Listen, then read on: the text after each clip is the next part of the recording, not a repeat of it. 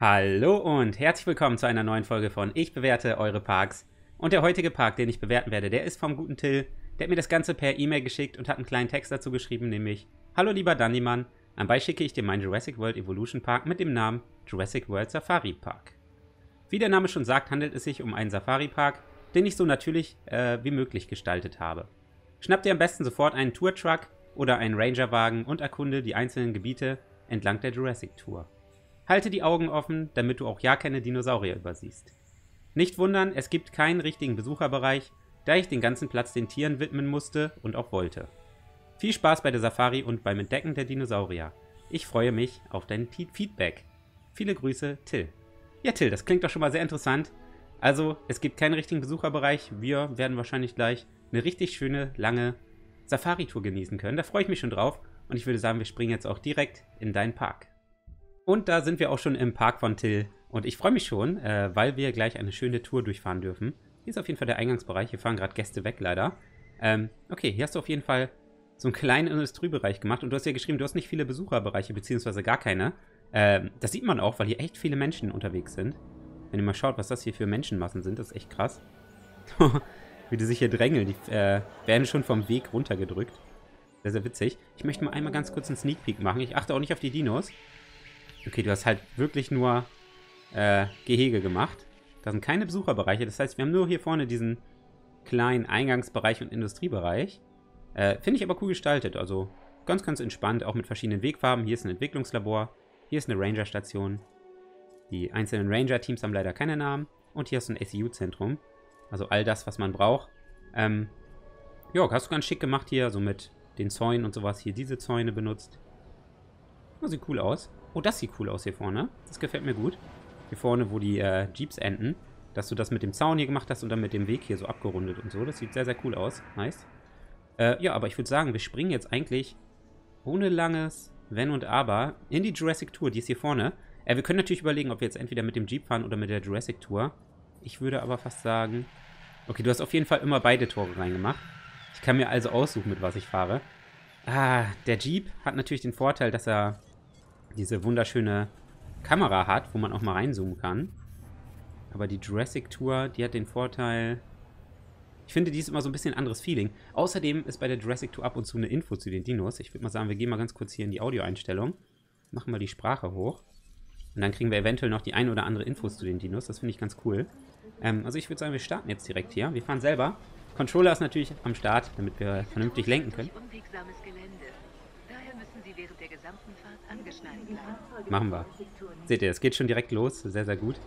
Und äh, ja, wir fahren direkt los, würde ich sagen. Ähm, was wollte ich gerade sagen? Ich glaube, dass der Akku hoffentlich geladen ist. Ja, wenn nicht, dann muss ich ihn äh, anschließen, den Controller. Macht aber ja nichts. Wir fahren direkt los. Wir sind jetzt aber, glaube ich, noch nicht in einem Gehege, ne? Was sind da vorne? Wartet mal. Ganz kurz einmal noch. Ach, das ist das Entwicklungslabor. Okay, never mind. Ich war gerade ein bisschen verwirrt. So, was geht los? Wir fahren ins erste Gehege. Ich bin sehr gespannt. Ich glaube, das wird eine sehr, sehr lange, schöne Tour werden. Da freue ich mich schon drauf.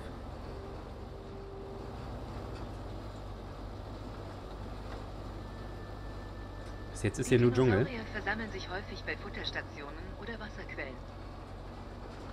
Okay. Bis jetzt sehe ich nur Dschungel. Aber sehr, sehr cool. Wenn man nicht weiß, was kommt. Oh, wie schön. Okay. Erster Dinosaurier, den wir hier zu Gesicht bekommen, ist der Anki. Wie es aussieht. Mega cool. Wir parken mal ganz kurz hier und schauen mal eben. Hier laufen auf jeden Fall zwei Ankis. Gucken nochmal so. Ja, zwei Ankis. Da hinten sind... Was sind das da hinten? Das sind keine Ankis. Sind das Nodus? Oh, den habe ich ja immer Probleme. Ich glaube, das sind... Das Nodus Polacanthus könnte es noch sein. Ich schau mal ganz kurz. Nodus sind das, okay. Nodosauren. Ja, jetzt ist schon wieder das Problem. Ähm, ich darf die halt nicht außer Augen lassen, die Tour, sonst ist sie weg.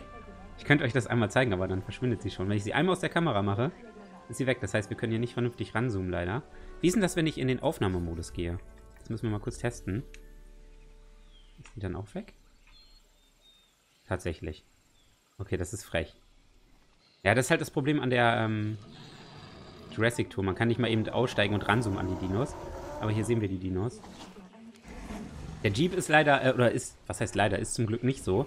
Der bleibt immer schön stehen und wartet auf einen. Vielleicht sollten wir gleich wirklich mit dem Jeep da durchfahren. Wobei ich die Tour echt cool finde, weil der diese coolen Informationen noch hat. Ist das hier auch ein Nodo? Ja, ne?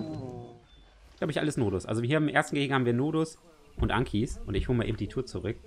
Der Nodosaurus greift im Gegensatz zu anderen Vertretern der Gattung Ankylosaurus nicht mit dem Schwanz, sondern mit seiner Schulter an. Okay, mit dieser Information sind wir wieder zurück. Also wir sind jetzt wieder an der gleichen Stelle wie vorhin. Und äh, ja, wir fahren mal weiter. Äh, ich würde sagen, wir steigen jetzt einfach nicht mehr aus. Gott, was schreit er denn so? Ich würde sagen, wir steigen jetzt nicht mehr aus und ähm, genießen das Ganze einfach aus Besucherperspektive. Ich glaube, wir haben eine sehr lange Fahrt vor uns. Wir dürfen uns auch gar nicht so viel Zeit lassen. Jetzt sind wir hier eine Stunde unterwegs. Hier sehen wir nochmal die Ankis zu unserer Rechten. Leider gerade von uns weggedreht. Auch sehr cool. So, nächstes Gehege, Leute. Bin gespannt, was wir hier zu entdecken haben. ist ein schwer gepanzerter Vierbeiner, der anhand seines gedrungenen Körpers und keulenartigen Schwanzes leicht zu erkennen ist. Infos leider ein bisschen spät. Fusionsechse. Fusionsechse, okay. Wieder was dazu gelernt. Oh, was haben wir hier? Sind das Toros oder sind das Triceratops? Das sind Triceratopse, okay. Hallo, liebe Trizis. Wie geht's? Was macht ihr hier? Ah, da vorne ist der Futterspender. Ich hoffe, man kann es erkennen durch die Scheibe. Dann gehe ich ab und zu in diese Sicht. Und Pachis sind hier. Ach, wie cool. Den sieht man auch da vorne. Ja, Trizi kommt uns sogar jetzt hier gerade relativ nah, guckt uns auch voll an. Oha. Nicht wegrammen. Der Pachycephalosaurus lebte in Nordamerika. Er war einer der letzten nicht vogelartigen Dinosaurier, der während der Katastrophe der Kreide-Paläogengrenze vor 65 Millionen Jahren ausstarb. Er hat uns erstmal mit seinem Schweif weggerammt. Äh, ja, wir hatten gerade eine schöne Info über den Pachi. Die Pachis kann man gar nicht äh, richtig erkennen da vorne. Sind sehr versteckt. Beziehungsweise der eine ist sehr versteckt. Also ein bisschen sieht man ihn. So, wir fahren mal weiter. Vielleicht sehen wir noch ein paar mehr Pachis.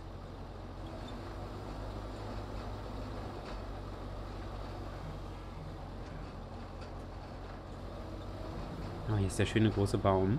Also bis jetzt kommt auf jeden Fall richtig schön so ein Safari-Feeling rüber. Finde ich nice. Guck mal, da rechts sieht man auch Der einen... große, Äh, knochige Nackenschild und die drei Hörner machen den Triceratops zu einem der bekanntesten Tricera- Dinosaurier und What? einer beliebten Attraktion. spricht man den so aus? Triceratops? Triceratops. Habe ich ja noch nie gehört, Triceratops. Okay, Leute, das müsst ihr mir in die Kommentare schreiben. Und sehr interessant, diese Infos. Aber auch ein bisschen nervig, weil die sehr häufig kommen, gefühlt. Also wir können noch auf den Jeep umsteigen, so ist nicht. Bin noch am überlegen, aber ich finde es eigentlich ganz angenehm. So, nächstes Gehege. Oh, das wird hier interessant. Hier haben wir rechts Klippen. Ich hoffe, ich habe noch keine Dinos übersehen. Gott. Da schlängeln wir uns jetzt durch, okay. Können wir denn hier schon irgendwas erkennen? Hier ist auch Sand.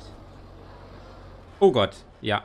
Wenn zwei rivalisierende Carnotauri aufeinandertreffen, versetzen sie sich gegenseitig Kopfstöße, deren Wucht von ihren Hörnern absorbiert wird. Carnotauri. Ist also die Mehrzahl.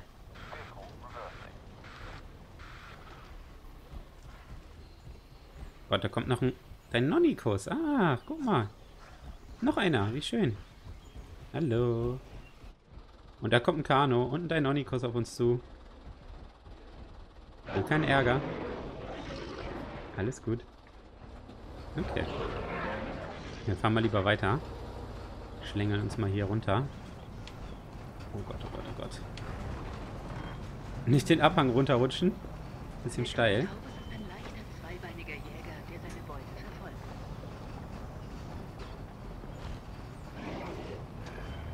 Der gerade hinter uns? Ah, da läuft er lang. Oh, der schnappt nach den Deinonychussen. Wie gemein. Da kommen sie angerannt, die Kleinen. Finde ich auch ganz toll, ne? Deinonychusse. Ja, Mehrzahl von Dinosauriern ist echt immer eine schwere Sache, ne? Deinonychus ist bestimmt auch nicht richtig, aber ich sag's einfach. Passt schon. Wahrscheinlich ist die Mehrzahl von Deinonychus Deinonychus. Gehe ich mal von aus. Haben wir hier im Wasser noch irgendwas? Da vorne ist auf jeden Fall ein Futterspender. Das ist aber auch, glaube ich, gerade ein Deinonychus am Start. Glaube schon. Der Di- Deinonychus war der erste Raptor, von dem es ein nahezu vollständiges Skelett gab. Sein Name Deinonychus? bedeutet schreckliche Klaue und leitet sich von der 20 cm großen Hinterklaue auf seinem Fuß ab. Okay, irgendwie Entweder spreche ich die Namen alle falsch aus oder die, die Frau, die uns hier die Geschichten erzählt. Ja, ich glaube, wir haben aber alle Dinos gesehen in diesem Gehege. Ist aber sehr, sehr interessant, das mal alles so zu hören.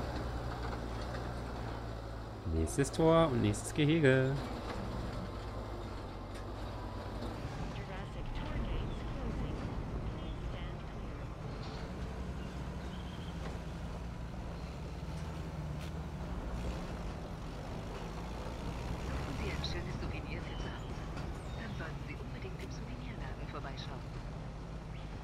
Guck mal, jetzt sind wir wieder im Gehege von vorhin, kann das sein?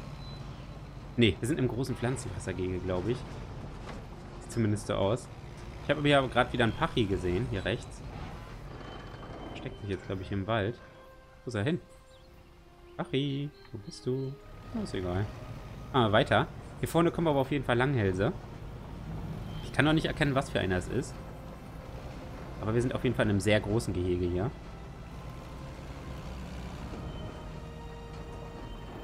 Es müssten Apatos sein.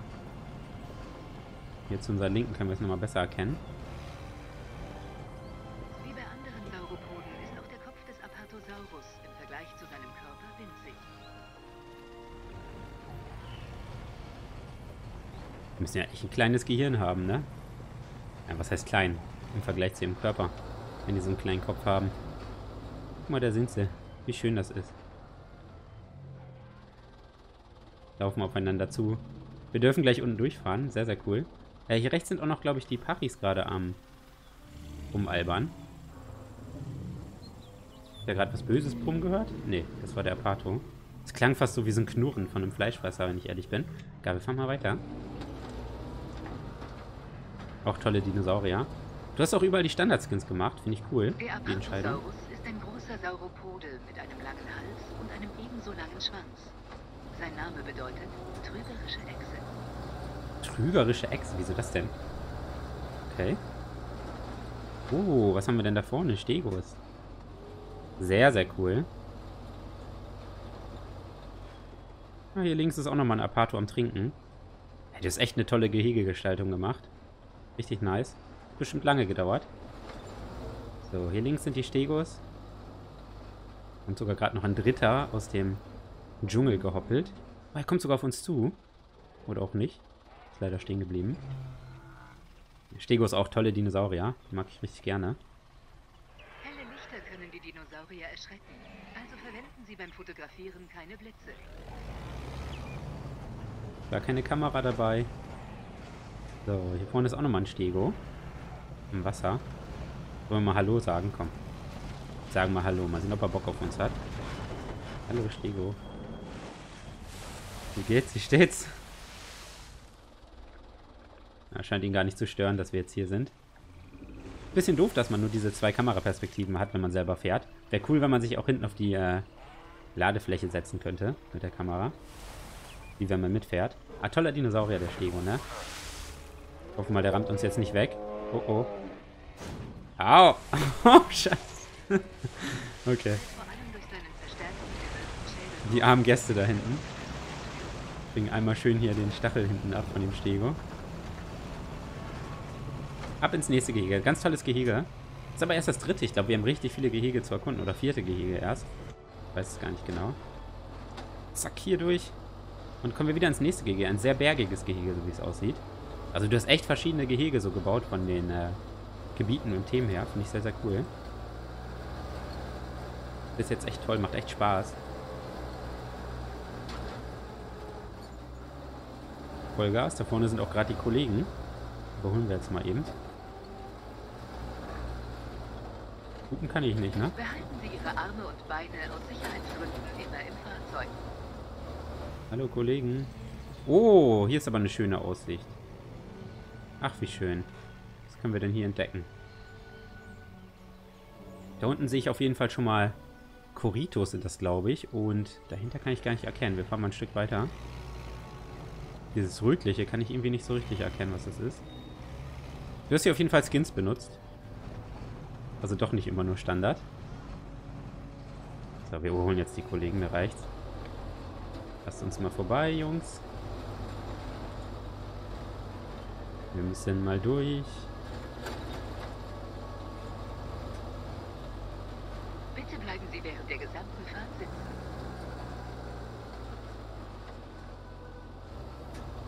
Oh, hier fahren wir durch so einen Fluss oder sowas durch oder einen See. Jetzt sehen wir zu unserer Rechten nochmal die... Ich glaube, es sind Kuritos. Mit denen komme ich auch mal sehr durcheinander. Ich könnte einmal kurz einen Blick wagen. Ja, es sind Kuritos, tatsächlich. Die haben auch keine Namen oder so. Vorne läuft ein Gallimimus. Sehr cool. Und ein Brachio. Oh mein Gott, den habe ich gar nicht gesehen. Wie schön. Ach, der Park ist echt toll. Fällt mir richtig gut. Ich versuche echt nichts zu verpassen, deswegen gucke ich mich so viel um. Ist echt richtig schön, oder? Hält man hier mal kurz an, schaut dann den Brachio zu, wie er da oben schaut. Das macht ihn auch zu einer beliebten Besucherattraktion. Seine Rufe sind im ganzen Park zu hören. Oh ja, das stimmt. Und wirklich sehr laut. Ja, die Kollegen überholen uns schon wieder, so langsam sind wir. Aber ich will einmal kurz zu dem Brachio. Trinkt gerade so schön, da können wir einmal unten durchfahren. Das ist immer ein tolles Bild. ah, ich liebe es. Ist immer schön, dass man mal von der Tour abwei äh, abweichen kann, wenn man äh, selber fährt. Wollen nämlich auch mal eben hier in den Dschungel schauen. Ich fahre aber gleich wieder zurück zur Strecke, keine Sorge. Und uns nur mal die Koritos eben vom Nahen angucken. Hallo. Ich weiß, ihr habt keinen Bock auf mich. Der Gallimimus ist ein straußenähnlicher Dinosaurier. Ah, Gallimimus ist auch gerade hier. Ja, Jungs, äh, ich fahr mal wieder, ne? Ich hab gar keinen Bock auf mich, ich weiß das. Hier sind noch zwei Brachios. Fahren mal wieder hier galant zurück zur Strecke. So schnell wie es geht. Schnellen wir uns hier durch. Da hört man gerade auch ganz gut die Rufe der Brachios. So. Dürfen wir jetzt hier auch nicht äh, von der Strecke abkommen, weil ihr seht schon, hier sind zwei Strecken nebeneinander. Hä, gehen die ineinander über? Ah ne, geht hier rechts lang. Da sehen wir schon die nächste Dinosaurierart. Auch ein ganz toller Dino. Der Parasaurolophus gehört schon seit den Anfängen des Jurassic Parks zu den beliebtesten Attraktionen, als er zusammen mit dem Brachiosaurus in einem Gehege untergebracht war. Hm, ist er jetzt auch. Okay, der hat uns fast weggerammt. Nicht umdrehen, Para. Wenn du dich jetzt drehst. Ah, aua. Ich glaube, der hat keinen Bock auf uns. Ja, wir fahren weiter. Aber Para sind auch tolle Dinos. Cooles Gehege, also wirklich sehr cooles Gehege. Schaut euch das an. Das ist nicht schön. Hier könnte ich den ganzen Tag verbringen. So, weiter geht's. zwei Meter lange Knochenzapfen auf seinem Schädel macht den Parasaurolophus zu einem einzigartigen Dinosaurier. Sein Name ist eine Anlehnung an die Gattung Saurolophus. Und in das nächste Gehege. Please stand clear. So sieht's aus. Wieder ein sehr flaches Gehege. Ich könnte mir vorstellen, dass hier ein Fleischfresser lebt. Oh ja. Oh ja. Oh Gott, oh Gott, oh Gott. Der brüllt hier auch direkt die Jurassic Tour an. Hallo, kleiner Rexy. Oh, oh. oh schnell zurück. Oh Gott. Der hat uns fast weggerammt. Sehr schön. Der Tyrannosaurus Rex ist wahrscheinlich der bekannteste Dinosaurier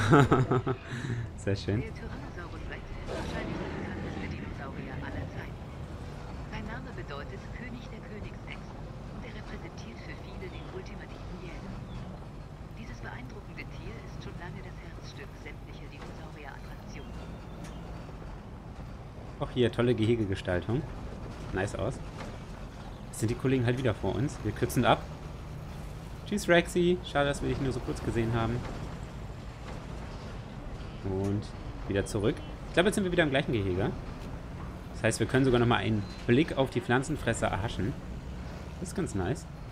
Sieht echt toll aus hier. Wenn man hier lang fährt und dann links runter schaut.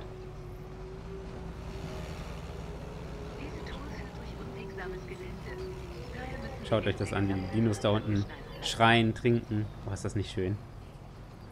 Ah, das feiere ich. Das ist echt toll.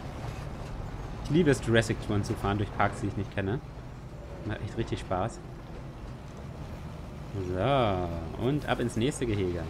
Ich weiß gar nicht, wie lange wir jetzt schon aufnehmen, aber es geht, glaube ich, noch. Lassen mir nämlich teilweise immer ein bisschen zu viel Zeit, aber Mein Gott, man kann ja vorspulen im Video, ne? Wenn es zu lange dauert. So, was haben wir hier? Ja, Teletubby. Centaur? Oder welcher ist das? Ich glaube, das ist ein Centaur. Ja, Centaur. Boah, ich bin so gut. Ich erkenne sie alle. sind da vorne am Grasen. Auch ein toller Dino. Zeigen sich nur leider gerade nicht so. Kamm des Centaursaurus besteht nicht aus einem ganzen Knochen, sondern einer Knochenröhre. Das spart Gewicht, ohne die Stabilität zu beeinträchtigen. Ist, glaube ich, bei Vögeln auch so, ne? Dass die hohle Knochen haben. Damit die... Oh Gott. Damit die leichter sind. Ist mir fast vors Auto gelaufen. Was ist los? Willst du jetzt vor oder darf ich fahren? Dann fahre ich jetzt. Aber nicht vors Auto laufen. Wollen doch nicht, dass sich hier einer wehtut. Sind hier sonst noch irgendwelche anderen versteckt im Dschungel? Nee, ich glaube nicht. Links habe ich was anderes gehört. Oder war das auch ein Centauro? Ich glaube, ich habe gerade einen anderen Schrei gehört. Bin mir aber nicht sicher. Ich habe echt Angst, dass ich hier Dinos übersehe. Er. Mamenchi? Wo ist der Mamenchi? Der müsste ja hier im Gehege sein. Warte, ich zoome einmal ganz kurz raus. Ich will ihn nicht übersehen. Dürfen nur den Truck nicht aus den Augen verlieren. Ach, das ist auch so ein großes Gehege, oder wie? Ja, da kommen wir, glaube ich, gleich nochmal durch. Mamenchi. Sehen wir hoffentlich noch. Ist auf jeden Fall am Start. Please stand clear. Und der nächste Dino. Ein Fleischfresser. Metria Canto. Auch ein toller Dino. Coole Skins in JPE. Sehr nice aus. Nicht weglaufen. Oh Mensch. Der hat Angst vor uns. Ist ein mittelgroßer Theropode, der einst in Europa auf die Jagd ging. Sein Name bedeutet Echse mit mittellangen Stacheln und leitet sich von den Stacheln auf seiner Wirbelsäule ab. Stacheln auf der Wirbelsäule? Wie sehe ich die nicht? Der hat doch gar keine Stacheln. Bin ich verwirrt. Seht ihr Stacheln hinten auf seinem Rücken? Ich nicht. Aber die hat das auch äh, Theriopoden ausgesprochen. Also ich glaube, ich bin nicht derjenige, der das falsch ausspricht. Ich glaube, das ist sie. Das heißt doch Theropoden, oder nicht? Boah, keine Ahnung. Diese Frau verwirrt mich.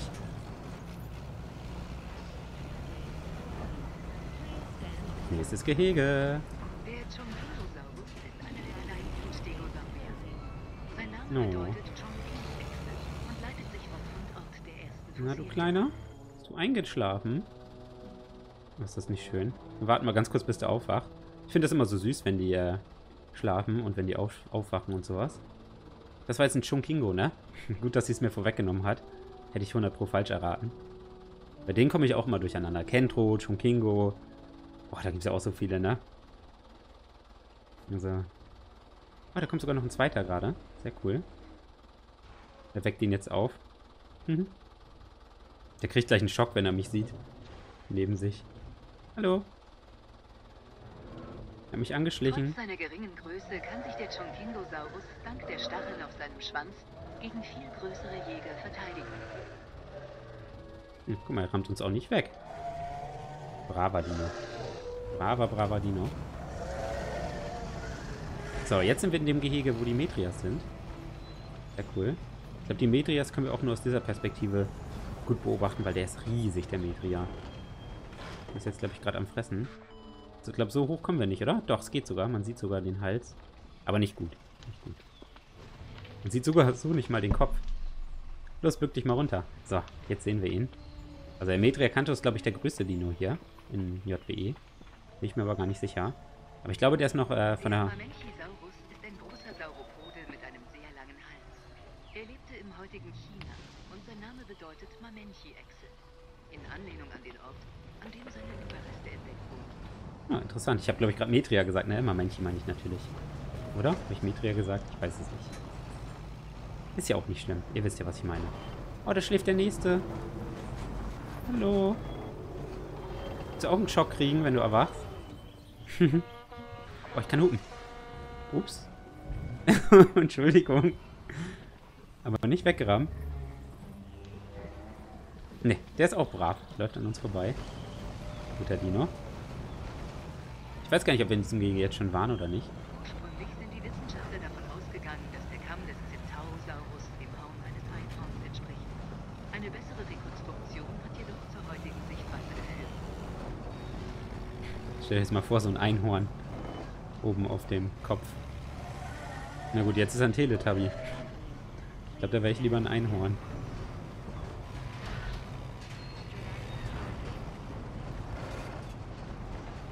So, wo sind wir denn jetzt? Hier gelandet. Ich habe keine Ahnung, wie lange die Tour noch geht. Aber ich finde sie bis jetzt sehr interessant. Ich hoffe, ich habe mich nicht verfahren. Ich hoffe, ich habe mich immer an die Wege gehalten. Aber ein sehr, sehr toller Park. Sehr gute Gestaltung ist hier gemacht. Sehr natürlich aus. Also das Motto Safari Park hast du auf jeden Fall erfüllt. Dinosaurierarten haben unterschiedliche Bedürfnisse. Diese stehen für uns an erster Stelle, weshalb wir für alle Arten eigene Konzepte erstellen. Vorne haben wir auf jeden Fall einen Spino. Wie ihr sehen könnt. Den können wir jetzt nochmal besser sehen, glaube ich. Mit meinem Lieblingsskin. Da ist er. Auch ein ganz toller Dino. Geht leider gerade weg. Ich hätte ihn gerne mal im Fressen beobachtet. Der verschwindet gerade in den Dschungel. Und da kommt noch, was kommt denn da angerannt? Dilos. Hallo Dilos. Ja, wir lassen euch mal in Ruhe. Schauen uns nochmal hier die Dilos an. Der Spinosaurus lebte in Nordafrika und zählt zu den größten. Arttheropoden und Fleischfressern, die jemals existierten. Gott, die kleinen wilden Dilos hier. Die machen auch so geile Geräusche, ne? Feier ich richtig.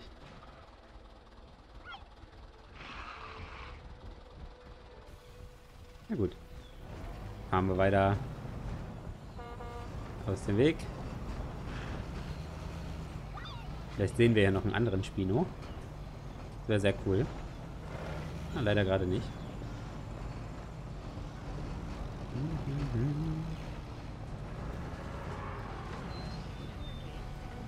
Und da kommen wir ins nächste Gehege. Und da ist direkt die Straße blockiert. Der Hallo. Triceratops hat einen großen kunstvollen Nackenschild, der von kleineren Hörnern umgeben ist. Oh, Er ist ungefähr gleich schwer wie das heutige Nashorn. okay. Ich glaube, der rammt uns nicht weg. Sah gerade so aus, als wenn er Anlauf nimmt und uns voll gegen unser Auto läuft. Wäre nicht so cool gewesen. Wir sollten hier lieber weg. Oh Gott. Wir fahren mal hier ganz geschickt weg. Jetzt werden wir gleich voll weggerammt. Sinus, ich will keinen Ärger. Ich will hier nur vorbei. Danke, danke, danke. Die scheinen nicht sehr scheu zu sein. Wollten bestimmt was zu fressen abgreifen. Nee, links noch irgendwas? Nee. Rechts war aber noch was. Ist ein vogelartiger Dinosaurier, der in Nordamerika lebte. Sein Name bedeutet Straußennachahmer und geht auf seinen zweibeinigen Körperbau zurück, der darauf schließen lässt, dass er schnell laufen konnte. Na, Edmontos haben wir hier. Strutiomimus. Kommt gerade sogar ein Edmonto angelaufen. Sehr cool. Hallo. Alles klar? Nicht Aua machen. Was mit dem Schweif auf? Scheibe war teuer. Okay, sehr gut. Da kommt auch noch ein Strutiomimus. Bleibt natürlich genau jetzt stehen. So, weiter geht's.